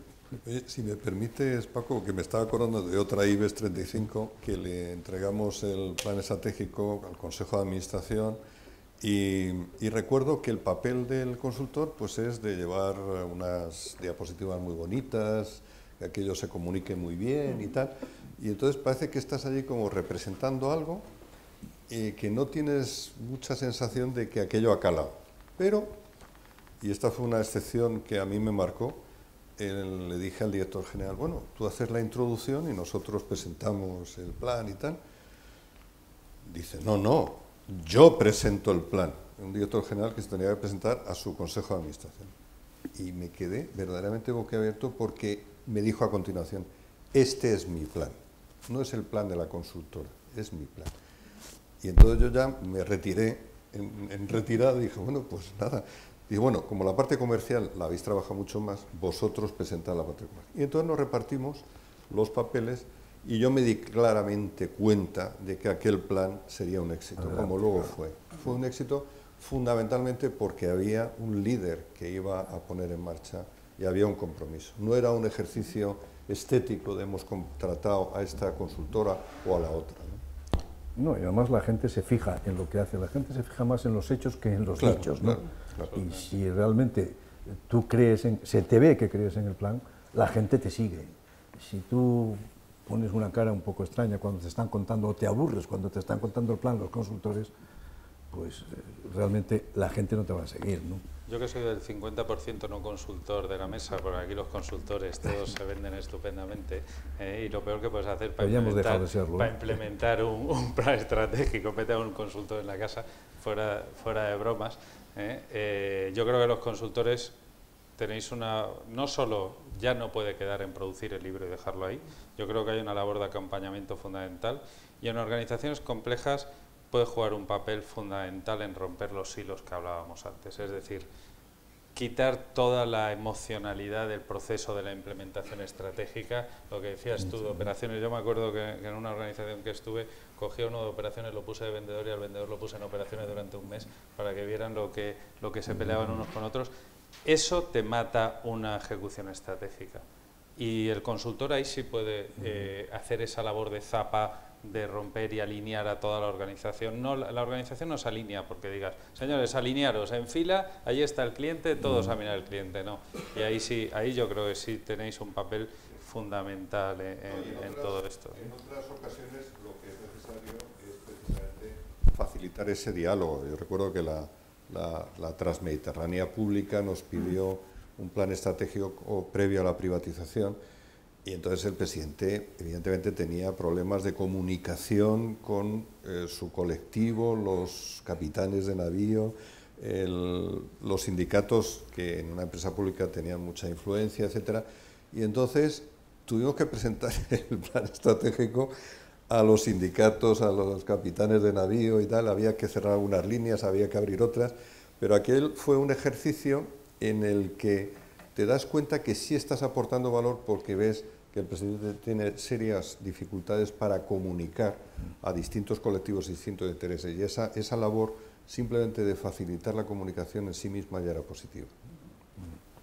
Eh, Ángel, tú que estás en el mundo académico en este momento y que tienes el grupo de intraemprendedores, ¿realmente eh, en los planes de estudio de las escuelas de negocios se está eh, metiendo ahora la ejecución, se está explicando a fondo todas las cuestiones de ejecución o nos quedamos en los planes estratégicos todavía? Pues eh, ahora lo que prima es la innovación, la innovación y el, eh, la creatividad y el eh, aprender y diseñar, design thinking. Y por cierto, ya con los años que uno tiene, cuando oye uno hablar del design thinking, pues me, me, acuerdo de cosas que estudié hace algunas décadas pero que llegan con nueva fuerza, ¿no? porque vienen muy bien presentadas y muy bien argumentadas. Se, se, pone mucho énfasis en los temas como valores, como responsabilidad social corporativa. Hemos implantado la triple cuenta de resultados que tiene, pues además de la componente financiera, la componente social y la componente eh, medioambiental. Eh, pero es cierto que en el área de ejecución Mm, se trabaja más en, cursos más específicos como el de Project Management, eh, que cada vez tiene, es uno de los cursos estrella de esta casa, ¿no? pero yo creo que, y seguramente que en tu época cuando estudiaste, a mí de luego cuando estudié aquí nadie me habló de la ejecución estratégica y a ti seguramente tampoco. ¿no? de plan estratégico de ejecución estratégica. No, pero el Project Management concretamente, que es en el área en la que me estoy desenvolviendo yo, es fundamental, pero no deja de ser un micromanagement, te enfocas en, una cuestión. En el caso de los emprendedores sí que estamos poniendo mucho énfasis en, en lo que es la vida mm, en el ciclo este de ideación o, oportunidad, mejor dicho, planificación de la oportunidad, arranque, al startup y creación y consolidación. Estamos poniendo mucho énfasis en decirle al que está aquí al principio que inicia un proceso en el que se va a encontrar con una serie de dificultades en, lo que es ya la ejecución. Y esa, esa parte la, adelantamos al presente. Lo que pasa es que vemos que no prestan mucha atención porque están más preocupados en poner en marcha el proyecto, en conseguir financiación, en que la idea sea buena, etc. Pero yo creo que es un área que deberíamos de potenciar en general todas. Yo creo que hemos llegado al momento en que yo creo que la sala nos debe hacer algunas preguntas. José. Bueno, Sí. Eh, sí. Eh, mi nombre es José de Rafael, yo soy consultor independiente en este momento, consultor empresarial independiente y quiero dejarlo claro. Y bueno, pues felicitaros a todos porque realmente ha sido y es un tema importantísimo que conviene eh, estudiarlo a fondo. ¿no? Y yo mm, quisiera aportaros un poco mi pensamiento. Me hubiera gustado estar en esta, en esta tribuna, pero no ha podido ser. Y entonces voy a abusar un poquito en este sentido. Y decir, por ejemplo, pues que hoy hablar de ejecución estratégica o de plan estratégico es un problema. Es decir, es un problema porque eh, afortunadamente las grandes consultoras eh, ofrecen unos servicios de los denominados outsourcings en la que eh, se convierten en socio tecnológico de una gran idea, de un gran plan estratégico y todo aquello de que se llenaba la, eh, dijésemos, la librería del, CEO era de papel y de humo, todo esto se ha terminado. Es decir, hoy en día las consultoras eh, comprometidas pues, eh, ejercen unos trabajos que están muy alineados no solamente al plan estratégico, sino a su ejecución, resultados inclusive, y yo creo que esto es un poco lo que, lo que habría que tener en cuenta. ¿no? Y sobre todo porque también los mercados se han convertido en unos mercados casi ingobernables, es decir, son unos mercados volátiles donde eh, las decisiones hay que tomarlas, eh, yo diría que antes de que sucedan las cosas, ¿no? y tienen que ser eh, soluciones muy rápidas. Y también a la hora de planificar tenemos que tener en cuenta cómo es nuestra organización. No se puede planificar estándar para todo el mundo porque cada organización tiene su uh, propia, digamos, distribución ejecutiva y que además suele ser problemática. ¿eh? Aquí incluso lo habéis mencionado vosotros. Tenemos operaciones, tenemos financieros, tenemos personal, tenemos eh, eh, ingenieros, etcétera, que ponerlos de acuerdo en este momento y sobre todo en nuestra cultura y, y española, mejor dicho, pues es muy difícil. No es como en otros países que sí existe esta cultura de la comunicación y ahí incluso falta pues, un poco la ética de las personas profesionalmente hablando de que uno tiene que trabajar para el otro y aquí esto no se contempla y por consiguiente en los planes estratégicos es que ya nacen muertos. ¿no? Este es un tema que también yo quería eh, proponer. Y yo diría que en lo que es el plan estratégico habría que tener muy en cuenta no solamente lo que hay que hacer, sino lo que no hay que hacer. Y yo esto no lo he visto prácticamente nunca. ¿no? Eh, todo el mundo, pues, dijésemos, se esfuerza en planificar todos los sueños que tienen y dentro de estos sueños pues hay lo que podríamos llamar unos antivalores que son los que te destruyen prácticamente toda esta eh, ideología de, la estrategia. Y este es un tema que a mí me gustaría pues también conocer incluso vuestra opinión, ¿no? es decir, ¿qué es lo que se puede hacer para detectar, aquello que no, no se debe de hacer? Y apuntar un poco que yo creo que también los equipos directivos deben de de tener muy en cuenta pues, el tema, eh, dijésemos, de los valores personales, de la ética, de la moral. Es decir, aquí ya no vale todo, aquí eh, somos todos los que estamos apostando por un proyecto común y creo que en este aspecto todavía estamos muy verdes, la gente es muy endogámica y, y esto es un problema para cualquier, dijésemos, eh, resultado favorable en una gran compañía. Y nada más, Muy agradeceros. Pues, no sé si queréis añadir algo de José. Sí. Muy de acuerdo con el tema. De hecho, Michael Porter ¿no? dice que, que hacer estrategias es elegir los noes, ¿no? los trade-offs que vas a... Y la parte de valores es verdad que no la hemos tocado y, y absolutamente de acuerdo contigo. ¿no? Quizás es lo más importante yo cuando escribo alguna cosa por ahí digo, que es la única vía realmente de recuperación económica, porque hasta que no toquemos suelo moral no tocaremos suelo económico, ¿no? Y eso todavía no ha empezado, no sé, muy de acuerdo contigo. Por favor, aquí. Hola, buenas tardes. A ver, mi pregunta... Eh, ¿Os eh, podéis identificar? sí, soy Luis Arimani, eh, es director general de una empresa del sector farmacéutico eh, consultor eh, y estoy lanzando ahora una empresa. mi pregunta es, eh, ah, por cierto, también soy profesor de estrategia en, una escuela de negocios. todo lo que estamos hablando, estoy totalmente de acuerdo si estuviésemos hablando hace tres años y sobre todo para grandes empresas, grandes empresas que tienen un movimiento, o sea, una inercia muy grande. En los tiempos que corren ahora, con una incertidumbre brutal y, por ejemplo, Andaes antes de, los emprendedores. Pues un emprendedor, pues, eh, ¿qué estrategia va a tener? Porque si no sabe que, si va a vender o no. O empresas y, sectores que de, la noche a la mañana lo que está sufriendo es cambios totales. En el sector farmacéutico, eh, el que el hecho del gobierno no pague a las comunidades autónomas está siendo devastador para los que hemos estado trabajando ahí. Entonces, en un ambiente de gran incertidumbre, como es el emprendimiento, como es sectores que, bueno, se están yendo al traste pues, pues por múltiples motivos, eh, temas como el Lean Startup o temas como, como pues la gestión del cambio, ¿cómo lo unís a, la gestión estratégica? Es decir, mi pregunta vendría a ser, ¿cómo? O sea, entiendo la ejecución estratégica como una pata para, eh, para implementar una estrategia, pero en un ambiente de una alta eh, eh, definición de lo que va a pasar, ¿cómo, cómo gestionáis esto? Bueno, eh, no sé, quizá por, por alusiones, es cierto que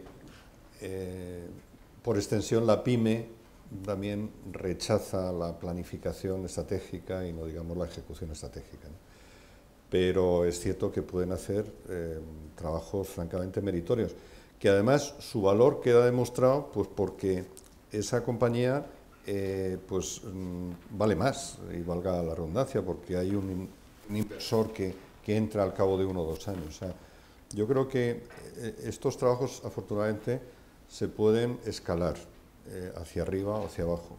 Pero sobre todo lo que hay es un método de trabajo, que por cierto es una de las claves en el éxito de estas cuatro etapas del emprendedor que antes decíamos, cada una de las primeras, cada una de las etapas, el arranque, la, oportunidad, planificación, em, arranque y consolidación, cada una de ellas tiene una serie de factores críticos en distintas encuestas que hemos hecho y eh, al principio hace falta un método, un método que ponga en orden las ideas fundamentales, los pilares del negocio.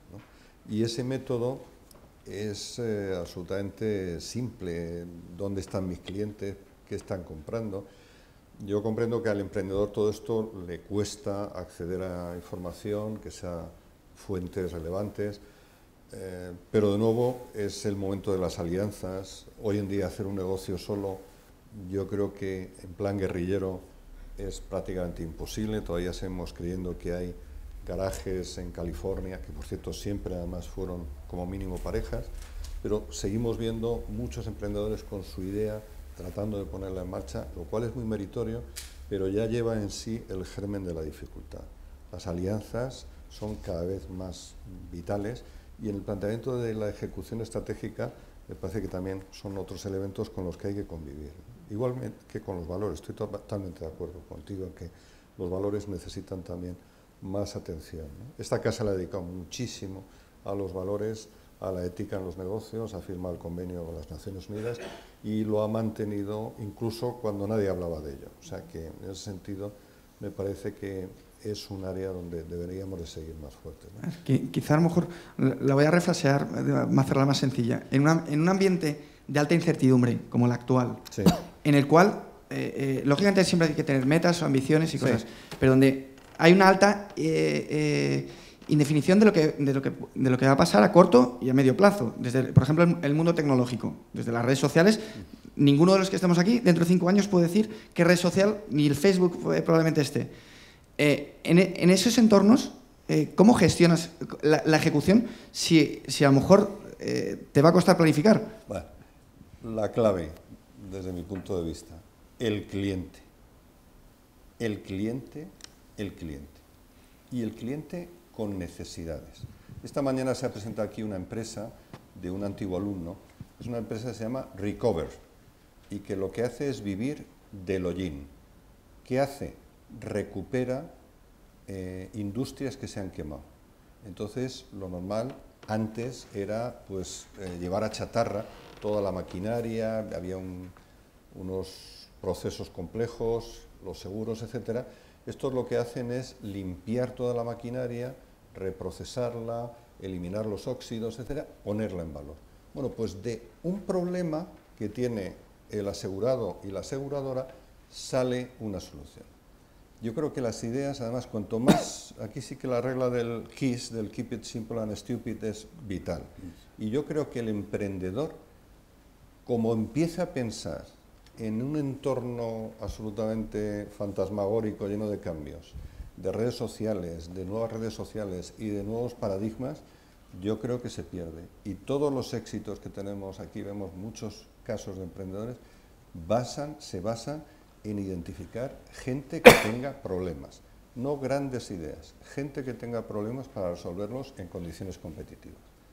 Y yo creo que así se va acotando en la modestia de una relación mm, bidireccional la salida del emprendedor. Y luego necesitará una red social para publicitarlo, necesitará alguien que lo venda, necesitará un distribuidor, necesitará una alianza y necesitará pasta. Pero de verdad, yo creo que el cliente, yo lo he dicho antes, a lo mejor me estoy haciendo mayor, yo sigo creyendo que el cliente tiene buena parte de las respuestas que nos empeñamos en buscar desesperadamente. Eh, yo creo que lo, ha dicho Ángel fenomenal y vuelvo a la parte del inicio del diálogo, que era hacer hacerlo simple. Es decir, yo, yo creo que aplica en cualquier entorno, aplica en el entorno PYME, aplica en el entorno emprendedor. Al final, un proceso de planificación estratégica de una gran eléctrica será no sé cuántos tomos, de una pyme será dos folios, será una declaración de intenciones, será declarar a dónde voy, cómo lo voy a medir, el a dónde voy. Yo creo que hay un factor importantísimo en la ejecución estratégica, que es medirlo. Tú tienes que saber a dónde vas. Y Cristóbal Colón salió de España, iba a las Indias y encontró América. ¿Se equivocó en la planificación estratégica o en qué se equivocó? Pero tenía una aspiración, tenía un sitio, llegó a algún sitio y si hubiera tenido alguna referencia lo hubiera podido medir y, reenfocar el rumbo y llegar a, las Indias. ¿eh? Pero no tenía esos medios. Entonces, yo creo que cualquier pyme, cualquier emprendedor, de hecho, eh, voy a confesarlo, yo he hecho algo de consultoría también. ¿eh? Entonces, en, entornos, en entornos más pequeños de, mediana empresa son absolutamente válidos. Lo que no lo vas a hacer... Lo, complicarlo para una empresa de 5.000 empleados y aplicar las reglas de empresas de 5.000 empleados a pymes. No tiene sentido, no vale. Hay que aterrizarlo, hay que aterrizarlo manteniéndolo simple. Pero lo que es muy importante es que si, y, amigos míos que están emprendiendo ahora y mucha gente emprendiendo ahora, como no midas, no sabes a dónde vas a llegar. Y llegarás a buen puerto si tienes suerte, si la idea es buena o si el equipo es muy bueno. Porque no sabiendo dónde llegas, a lo mejor te descubres América porque el equipo que llevas a bordo es muy bueno pero mucho mejor medir y poder ir en ese entorno cambiante. ¿Cómo va a cambiar la regulación en dos años? No lo sé. ¿Cómo va a cambiar las redes sociales? No lo sabes. Mejor cógete a un nativo Internet, que nosotros no lo somos, para, para intentar elucubrar sobre eso. Pero coge esas referencias, coge referencia de clientes, pruebas de concepto, mide, mide y, va orientando eso. Pero para mí, de verdad, eh, negar el concepto por el entorno, no, el entorno yo lo he dicho al principio, es cambiante, es, lo único que no puedes hacer tú para que no lo sea cambiante. Un plan estratégico, además, otro tema que tampoco hemos hablado, los plazos del plan estratégico. lo, ha insinuado antes Paco cuando has hablado de 15 años. Es que no puedes decir que van a ser las redes sociales en 5 años. Es que si yo lanzo una red social mañana es para que dé resultados en una ventana de qué? ¿De un año? ¿De seis meses como mucho? Si no, no vale. De todos modos, la planificación estratégica, en algún sitio he leído esto, existe, porque el líder no puede llegar a todo el mundo. Si el líder pudiese llegar, él comunicaría directamente la visión y la misión y estaría encima de la gente para eh, que ellos a su vez ejecutasen eso. En una pyme se puede conseguir relativamente pronto, pero hay que pegarse al terreno, totalmente, y poder actuar inmediatamente en plazo de horas, en plazo de meses, vamos yo creo que en, la pyme, evidentemente, te van a faltar conocimientos, pero también en la grande faltan conocimientos. Muy importante, enlazando con el tema de cliente que decía Ángel antes. Cuando formules una planificación estratégica, a uno que se la tienes que poder contar, lo tiene que entender y lo tiene que comprar es tu cliente. Si tú a tu cliente le cuentas tu formulación estratégica y para él no significa nada, hay formulaciones estratégicas, queremos ser los números uno. Eso para el cliente, yo como cliente, ¿qué significa ser número uno? Y yo creo que eso es válido en cualquier tipo de empresa. Entonces, A lo mejor tienes que traducir qué significa, señor cliente, que yo vaya a ser el número uno para usted, porque a mí como cliente no me interesa que tú vayas a ser el número uno. Yo he encontrado clientes que prefieren trabajar con el número 5 o el número 6 porque son el principal cliente del número 5 o del número 6. Entonces, todos esos factores también yo creo que hay que tenerlos en cuenta. Muy bien, nos estamos llegando al final. ¿Alguna otra pregunta? Hola, buenas tardes. Tenemos un par de ellas, por lo visto. Ah, O tres, ¿no? sí. Hola, yo soy Tomás Garrido, trabajo en Airbus España. Eh, quería primero agradeceros la oportunidad que nos dais de aprender de todo, de todas las salas. Y en segundo lugar, quería pre- preguntaros algo. Habéis comentado ¿no? que en el fondo la ejecución está muy relacionada con la gestión al cambio. ¿no?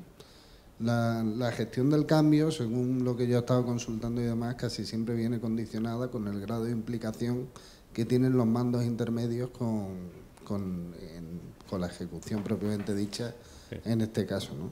Y querría que me comentarais por vuestra experiencia el tipo de valores o el tipo de habilidades que tiene que tener esta, esta serie de mandos intermedios para que una ejecución llegue Sí. a su correcta ejecución.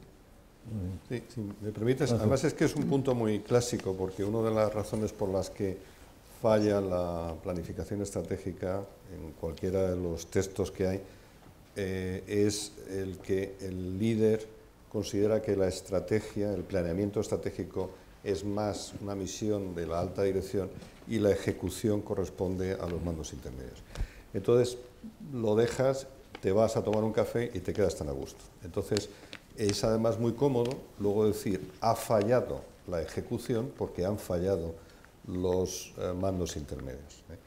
Entonces ahí hay un punto muy importante que, tú abres que es el de vertebrar la eh, estructura en la compañía con objeto de conseguir el compromiso, eh, la implicación, mejor compromiso que implicación, y eh, que además vea el mando intermedio que hay algo de ese objetivo que tiene que conseguir que le afecta, bien porque va a formar parte de su evaluación, de sus bonus o de lo que sea. ¿no? Pero es cierto que el mando intermedio es una pieza clave en la ejecución, eh, que en parte puede resolver ese intraemprendedor que yo decía, que podía ser el hombre que aglutinara por delegación del, del líder esa capacidad de gestión y de dirección de esos, de esos grupos de trabajo. ¿no? Pero es clásica la objeción de que la ejecución la llevan a cabo los mandos intermedios y yo, gran líder de esta gran corporación, me dedico al gran planeamiento estratégico. Entonces, es, es una de las, de las clásicas dificultades que tiene la ejecución estratégica. Entonces, el, aquí. Eh, sí. Ah, bueno, Hola, buenas tardes. Me llamo Abel Aragón, trabajo en la empresa Classmakers en España y me causa curiosidad, eh, habéis hablado todos de grandes empresas, pues Unión Fenosa, eh, Orange y grandes empresas. ¿Encontráis diferencia a la hora de desarrollar un plan de estrategia en una pyme y en una gran empresa? ¿Pensáis que mm, el empresario de una pyme acepta el llevar a cabo una estrategia o una ejecución estratégica para su negocio como lo puede llevar a, eh, entender eh, un director de una gran compañía? ¿Veis diferencia? Igual que hay diferencias de culturas, depende del país, pues también de cara a la pyme. Y estamos también en un momento ¿no? en España en que bueno, pues tenemos que sacar todos adelante las empresas y pienso que sí que es importante, de cara a un empresario de, una pequeña empresa con tres empleados, con cinco, con 15, con los que sean, el llevar a cabo pues, una ejecución estratégica. Entonces, ¿pensáis que tienen mentalidad, vosotros que estáis relacionados, que ya lo habéis vivido por experiencia, que nos encontramos en España con una cultura verdaderamente abierta a elaborar estrategia? Que, porque hay muchos empresarios que piensan que puede ser humo, que le están vendiendo algo por vender y no lo entienden. Eh, yo es que en mi empresa, en el trabajo, pues también nos encontramos con situaciones de estas día a día, de empresarios que están un poco eh, recelosos, a la defensiva y creen que esto puede ser mm, algo que es un intangible y que no les va a producir nada. Todos entienden que sí, que hay que hacer un cambio y que evolucionar o, morir, ¿no? Y cambiar. Pero pienso que, vamos, me gustaría conocer vuestra opinión respecto a esto. Y además también pienso que cómo se puede hacer, ¿no? porque también la ejecución estratégica, aparte de estar enfocada al mundo de la empresa, puede estar enfocada en la vida personal, en el deporte, en cualquier ámbito y sobre todo en España, ¿no? a nivel mundial, a nivel país, eh, que la marca España pues al día de hoy está muy desvalorada. ¿Pensáis también que haría falta una ejecución estratégica para nuestro país? Por un lado está la pyme, que no tiene la mentalidad, y por otro lado nuestro país. Esta pregunta es para nota. Sí. ¿Qué quieres? Yo te dejo la del país, yo contesto la de la pyme. no, eh, y además seguro que eh, tenéis más experiencia que yo en el tema, en el tema de, de, pyme y de planteamiento estratégico de pyme. Lo que sí las pymes tienen que tener en cuenta, porque al final una filial de muchas multinacionales que son compañías muy grandes no dejan de ser pymes o pimones, pero son organizaciones pequeñas. Y tiene una ventaja muy grande para el tema de planificación estratégica, que es el componente emocional y de compromiso del equipo. O sea, en un entorno de pymes, si el líder hace un buen trabajo, conseguir el compromiso y que el equipo le siga es relativamente más sencillo que en un entorno más complejo, porque los silos no existen, porque todo el mundo hace todo, porque todo el mundo rema en la misma dirección. Por lo tanto, lo veo como una gran oportunidad. Y comprarlo desde arriba, en estos momentos de dificultad, yo creo que, yo siempre lo digo, ¿eh? en España faltan dos cosas. Falta uno que es la estrategia, hay muchas compañías que no tienen estrategia, y otro que faltan son buenos vendedores. En España no hay vendedores. Y uno de los problemas de las empresas de España es vender y no hay gente. La profesión de vendedor no está desarrollada y no está alineada en el concepto de la venta estratégica y, de, y del concepto de, que forman parte de la estrategia de compañía y son factores claves. Y eso falta muchísimo. Entonces, eso en una pyme eh, yo creo que es creo que es muy fácil implementarlo. Fácil, no es fácil, no es nada fácil porque hay un tema cultural importante, pero creo que es factible. La palabra correcta no es fácil, es factible la implementación. Creo que el, líder en la pyme está mucho más cerca de la gente, por eso no hace falta escribir grandes tomos. Hace falta a lo mejor, si es necesario, escribir un papelito.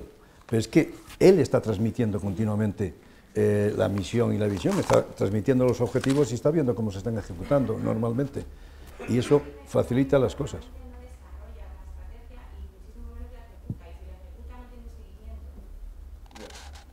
Yo creo que lo ven día a día. ¿eh? En el día a día está viendo cómo se están cumpliendo las cosas. Si me tiene, el esquema en su mente. Si me permite la sugerencia, yo creo que en esos casos el 80% de ese plan estratégico o el 90% es el plan comercial. Y el resto son capas que se le añaden al plan comercial, porque sin esa venta que dice Gabriel es que no ha lugar. Entonces, yo creo que esto hace que ese esfuerzo no es un esfuerzo para la galería, sino que es un esfuerzo precisamente para generar eh, recursos a través de la venta. Entonces, esto degrada bastante el mensaje y no queda muy políticamente correcto decir que una pyme lo que tiene que hacer es una estrategia fundamentalmente comercial. Tampoco lo, eh, apoya el siguiente concepto, que es el de trabajar por nichos de mercado. Esos pares de clientes y productos en donde una pyme puede incluso llegar a ser líder en ese nicho, en ese hueco Hueco queda mejor que nicho. Nicho tiene unas connotaciones bastante negras. ¿no? Entonces, buscar ese hueco en donde una pyme puede ser perfectamente líder en ese hueco y ser competitiva y desarrollar pues, toda la ah, gama de principios estratégicos. Entonces, desde la modestia, eh, yo creo que el negocio puede plantearse, y desde luego cualquier gran corporación nacida hace 20 años nació así, además de en el garaje de California que siempre nos cuentan. Nos quedamos con la parte estética y no con la parte intrínseca. Se enfocaban a los clientes, tenían mucha modestia, mucha honestidad en los planteamientos. Hay que jugar con el flujo de caja, otro no sabemos vender, pero no sabemos gestionar el flujo de caja. No tenemos conciencia de la importancia que tiene el flujo de caja a la hora de prevenir desastres en la falta de recursos para atender pagos, etc. Entonces, eh, estamos un poco limitados. Afortunadamente tenemos tantas escuelas de negocio prestigiosas que generan muy buenas eh, promociones de, de. Pero a escala pyme eh, yo me atrevería a decir que casi todo lo que tiene que utilizar la pyme casi está en la web. Hay, hay compañías que te dan el disquete de cómo hacer un plan de negocio por eh, unos pocos euros. O sea, que el método de trabajo eh, yo creo que es, es- es muy accesible. Lo que hace falta es hacer que la actitud sea muy orientada a conseguir eh, recursos, crecimiento, gestionar los riesgos y la caja. Y luego construir sobre ello pues, alianzas, el I D, personal, etc. Pero con un sustrato en el que el 80% será el plan comercial. Y, pues hombre, luego eso va por añadidura incorporándose, ¿no? No, no, creo que, sea, pero el vector debería ser el vector de relación de nuevo con el cliente en una escala muy pequeña, en donde se puede ser líder. Vamos, dos preguntas más que tenemos que ir cortando ya. Pero Sí, y por yo, aquí- ah, eh, mi nombre es Jaime de Aro, eh, soy director general de una pyme de 25 empleados en pleno proceso de cambio estratégico. Y me gustaría preguntarte, Gabriel, eh, has comentado que en un momento dado de tu, de tu vida profesional tuviste que implementar un- una, una planificación estratégica en tres meses que, el- que tu gente no se, no se creía. Y, y, eh, quería ver si podías concretar un poquito cuáles eran las, las barreras que te encontrabas para esa implementación del cambio estratégico y cómo conseguiste romperlas. La barrera. La barrera básica eh, era- eran dos. Una, el- la lejanía de, de cuando trabajas en una filial de una compañía americana, pues esto es una americanada que no aplica. O sea, para que os hagáis una idea, en, los cursos de ética de las compañías americanas hay un capítulo de llevar armas en el coche y estas cosas, ¿no? Pues claro, cuando estás en ese entorno, la credibilidad de, de ciertas cosas que vienen de arriba te quedan un poco lejos, ¿no? Entonces había una resistencia muy grande en creérselo. Y había que traducirlo a un plan Iberia, que era España y Portugal, que había que, conseguirlo. Y para eso, antes alguien lo ha mencionado, la palanca de los, de los- del grupo de managers, que era, era fundamental. Entonces empezamos eh, por toda la fase de, de comunicación y desde el comité de dirección hacia abajo cogimos todo el equipo de manager e hicimos una, una iniciativa que creo que fue bastante exitosa, que llamábamos la escuela de manager, que jugaba con el coaching, la formación y desarrollo en el puesto de trabajo de los propios managers. O sea, los primeros que se lo tienen que creer son los managers, si no, al siguiente nivel no se lo va a creer. Y a partir de ahí fuimos desarrollando todo el plan, poniendo uno- unos cuadros de mando y unos temas de medición de la evolución y trasladarlo a todos los equipos. Y luego una traducción, como te decía, eh, de qué significa para mi individuo estar en este barco. ¿Por qué quiero jugar en el Madrid? Bueno, mal ejemplo. ¿Por qué quiero jugar en no sé qué equipo y no en otro? ¿no? ¿Eh? Entonces, en Atlético de Madrid, vamos a hacer. ¿Por qué este año la gente quiere jugar en Atlético de Madrid? Tiene una, tiene una, una perfecta alineación del equipo hacia lo que quieren conseguir, hacia lo que pueden conseguir. Entonces, eso había que traducirlo, había que explicarlo, porque nunca se había hecho. Hasta ese momento, la compañía trabajaba en silos. El departamento de operaciones tenía unos objetivos de operaciones, el departamento de crédito y cobro tenía otros. Todo eso hubo que alinearlo, hubo trabajos en equipo eh, transversales para alinear todo, intentando alinearlo al negocio, a conseguir el objetivo único, común a todos, y por cierto, tampoco hemos hablado, por el que cobraban, que era el supremo, es decir, había un objetivo que formaba parte de la remuneración de la gente, que era el objetivo de conseguir el Iberia 500. Porque claro, tú puedes decir Iberia 500, pero a mí me vas a pagar porque el DSO baje de 120 días a 70 días, ¿vale? ¿Cómo lo alineamos eso con el Iberia 500? Entonces, todas esas eran las resistencias de pensar en mí como individuo en vez de pensar en el, en el colectivo. Y esa era la principal resistencia, aparte de la fundamental inicial de la credibilidad de un mensaje que viene de corporación. Que es que las corporaciones son muy complejas y luego son multinacionales y hay que aterrizar eso. No sé si te he contestado mucho. Vamos a ver la última pregunta ya. Sí, aquí estoy ya preparado. Soy Gonzalo Viloria, profesor de finanzas de la EOI. Primero agradeceros el rato que nos habéis dedicado. Yo aquí venía a aprender y me llevo como cuatro páginas de apuntes y una de preguntas. Pero ya que soy el que cierra el que cierra este turno de preguntas, quería pediros un esfuerzo final, que no sé si es mucho pedir y no sé si es poneros en un aprieto a los tres ponentes. Pero podríais resumirnos cada uno de vosotros en tres, tres conceptos clave distintos de cada uno. Tres conceptos, tres claves, tres factores definitivos para la implantación de la estrategia. Y ya que estamos, pues el último que, tiene más tiempo para pensar, que diga cuatro, y así nos llevamos diez. ¿Vale? Muchas gracias. Muy bien. Bueno, yo tenía una pregunta, que a ver qué, qué consejo les dabais para el despliegue de la estrategia, pero ya... Yo era una sola, piden diez, o sea que... Venga, a ver, ¿quién empieza? Ángel. Bueno, pues estoy tratando aquí de, de recuperar algunas ideas que había ido anotando. A mí me parece que el compromiso y el ejemplo por parte del líder de las necesitamos credibilidad para que los mandos intermedios, que es el otro gran colectivo que tiene que asumir eh, estos conceptos, eh, lo haga suyo. ¿no? Y desde luego insistiría en el cliente. El valor me parece que lo estamos perdiendo, no sé, en esta cultura de falta de fidelidad por parte de los clientes, de mm, realmente más que falta de fidelidad es total infidelidad en los clientes. Yo creo que el cliente ha pasado a tener eh, un segundo plano y la ejecución estratégica debería de recuperar el valor del cliente como fuente de, valor a nivel eh, económico y a nivel también de contenidos para el desarrollo futuro de la compañía.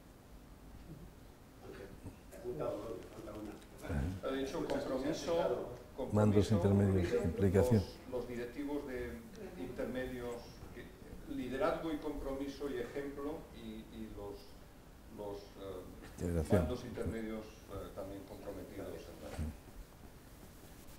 Yo, muy brevemente, me salen, lo siento, dos, más que tres. Eh, a mí se me ocurre, eh, que lo hemos dicho también, ¿no? Eh, creatividad, yo la asocio a mucho a ejecución, y, credibilidad, ¿no? las dos cosas. Con credibilidad en el equipo directivo y con, con creatividad, yo creo que se puede.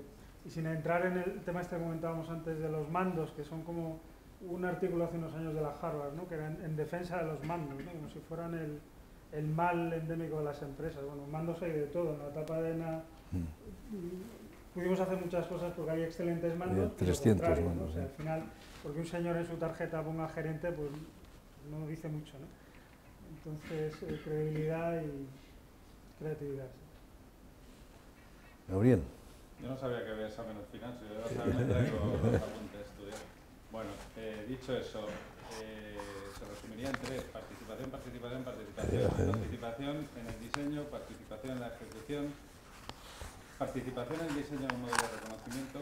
Creo que tiene que haber un modelo de reconocimiento de cuando los logros, eh, porque es muy duro medir, es muy pesado medir, hay que medir y hay que seguir las mediciones y eso a veces es, aburrido. Y te añadiría dos importantes eh, y luego uno que resume todos. ¿eh? dos, uno que sería la flexibilidad. Sea, un plan estratégico debe ser un plan flexible, no puede ser un plan rígido. El entorno cambia, el entorno es imprevisible, por lo tanto no vas a llegar a las Indias si no marcas bien el rumbo, el rumbo. Y otro que no ha salido, que es fundamental para luego el que resume todo, que es un componente muy grande de generosidad. O sea, yo creo que poner los objetivos eh, de grupo por encima de los objetivos individuales es uno de los retos más difíciles de conseguir en cualquier organización. Y a medida, antes hablábamos de pymes, en las pymes es una grandísima oportunidad para conseguir eso. En las compañías grandes es todavía mucho más complejo. Y eso se traduce al final en el compromiso, que es la que resume todo. Probablemente uno de los dos compromisos. no, sí, sí, sí, importante, y termino. El compromiso se mide. Sí. ¿Eh? El compromiso en las organizaciones se puede medir. Se puede medir todo. Y los que estéis en organizaciones más complejas, os invito a que se mida el compromiso. Nosotros de lo medíamos, el compromiso eh, eh, se medía regularmente cada trimestre y a los managers de toda la compañía a nivel mundial nos pagaban en función de la evolución del compromiso. No sé si tienen las 10, pero yo te añadiría eh, capacidad de contagiar entusiasmo por parte del... Pero, y eso lleva consigo también saber trabajar en equipo, es uno de los elementos. Y ya lo ha dicho Gabriel, lo que no se mide no sirve, no existe. Por lo tanto, el elemento de la medición es fundamental. Muy bien, no sé si nos quieres decir algunas palabras y cerramos. Sí, yo, eh, buenas tardes, noches a todos. Mi nombre es John Larrabeiti, soy socio de, de CEFIE. Eh, me tocaba hacer unas conclusiones y un cierre, pero Gonzalo, te agradezco mucho la pregunta porque aprovecho para ese cierre que han hecho. Eh, quiero daros las gracias a todos, por supuesto, Paco, Gabriel, Ángel, Carlos, por, porque habéis hecho ameno eh, un tema que al principio parece muy denso. Quiero daros las gracias a todos vosotros por, por vuestro compromiso, por haber eh, estado aquí. Y también comentaros que CEFIE junto a la EOI está preparando un plan a lo largo del 2013 donde quiere abordar conceptos como este de ejecución estratégica. Entonces, en la encuesta que os han entregado al principio, eh, si queréis dejar nuestros datos, os enviaremos eh, lo que es información sobre lo que queremos hacer conjuntamente en la EOI en talleres más enfocados pues a todos estos conceptos que como habéis dicho ha salido muchas veces el oye y no hemos hablado de y no hemos hablado de y no hemos hablado de entonces yo creo que es bueno plantearnos conjuntamente pues un camino donde profundizar y ver qué vueltas de tuerca se le pueden dar a todo este concepto de ejecución estratégica. Daros las gracias eh, y aunque estamos en la época que estábamos y no hay que decirlo, eh, os invitamos a que podamos compartir un vino y un pequeño cóctel que hemos preparado en la cafetería de la EOI y donde bueno pues podamos debatir, discutir o, o podamos tranquilamente acercarnos a, a nuestros ponentes para, para, ponerles en algún aprieto si hace falta. Así que muchísimas gracias y un aplauso para ellos, por favor. Muchas gracias.